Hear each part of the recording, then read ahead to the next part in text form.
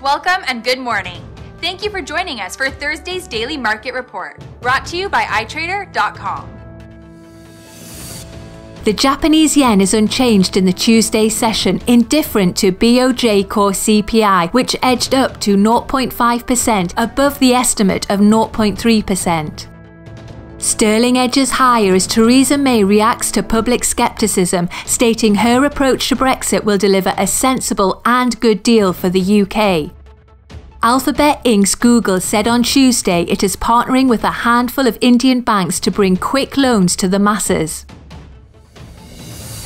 Bitcoin has gained an impressive 3.1% in the last session. The SSI is showing a 1.86 buyer seller ratio.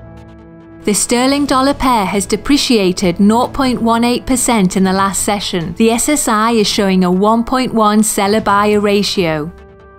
The Aussie dollar pair has edged down 0.17% in the last session. The SSI is showing a 1.6 buyer seller ratio. The price of gold has shed 0.8% in the last session. The SSI is showing a 4.9 buyer seller ratio.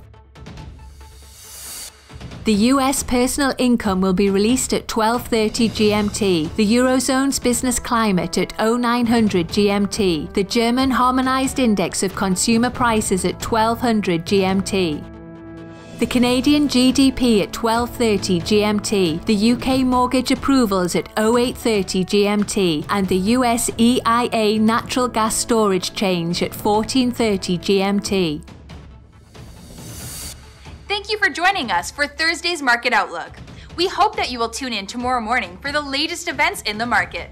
Until then, be sure to log into iTrader.com for all of your trading needs. Your personal account manager is ready to answer all of your questions.